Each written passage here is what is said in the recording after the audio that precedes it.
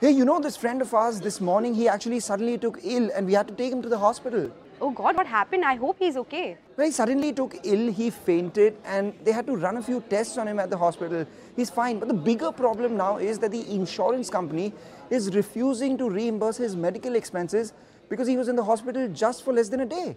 That may be because his insurance policy wouldn't have covered the daycare expenses. By that I mean any expenses for hospitalization less than 24 hours.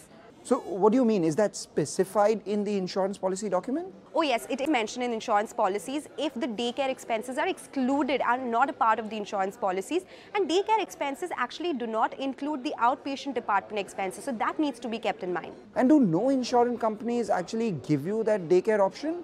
No, they do. A lot of these insurance companies do sell out daycare insurance plans. Uh, they do cover the pre-op or the post-op of daycare expenses, uh, would exclude something like a cosmetic surgery. But all of that is mentioned in your policy document and it is sometimes sold separately as well. Ah, I get it. So next time you take insurance, take care to include daycare.